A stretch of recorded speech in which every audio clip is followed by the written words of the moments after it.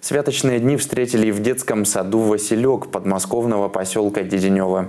Ребята подготовили праздничное представление и сами стали зрителями кукольного спектакля. Репортаж по материалам оператора Алексея Орлова. Отгуляли Рождество, время святок подошло, и до самого крещения ожидает нас веселье.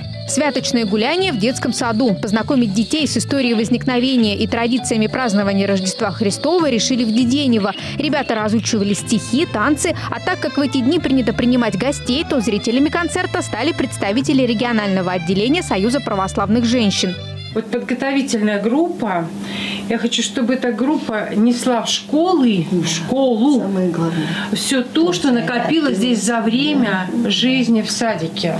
Родители дорогие, действительно, я вот не раз прихожу э, сюда в садик и вижу, какая работа ведется. Что-то фотографирую, мне хочется все это оставить в памяти и понять, насколько кропотливо работают с детьми нашими воспитатели. Действительно, хотелось бы, чтобы вот эта эстафетная палочка была обязательно передана в школу.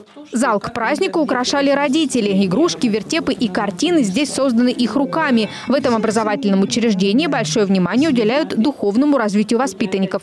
У нас самый лучший детский сад и заведующая, и родители – всех поздравляю с Рождеством. Очень потрясающий праздник э, в таком замечательном саду. Большое спасибо воспитателям, деткам, конечно, и нашей заведующей Людмиле Егоровне. Я всех поздравляю с Рождеством и наступающим крещением. Знакомство с православными традициями является одной из задач в работе педагогов и, конечно, родителей. Ведь именно в семье закладываются основы духовно-нравственного воспитания детей.